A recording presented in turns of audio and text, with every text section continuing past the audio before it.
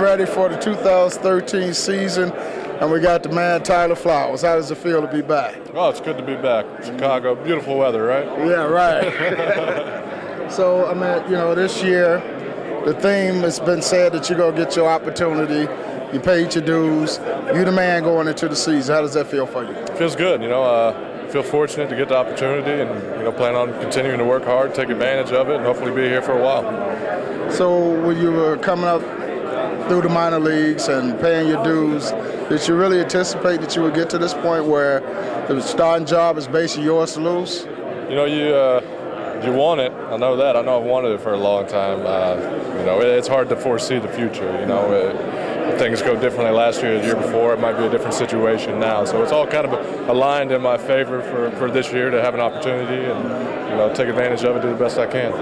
So you know, when I coach college ball, guys paid their dues first couple years waiting, and say it's yours now. You the man. Yeah, that's how it works, isn't it? Some longer than others, though. So I'm gonna do you. I'm gonna, this is a little more exciting for you getting ready for spring training yeah. now. Yeah, it is. You know, there's uh, you know, there's always the adrenaline building up, especially this time of year, spring training around the corner.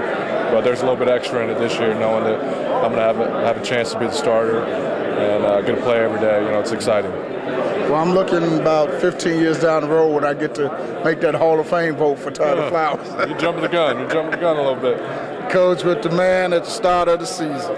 Tyler Flowers.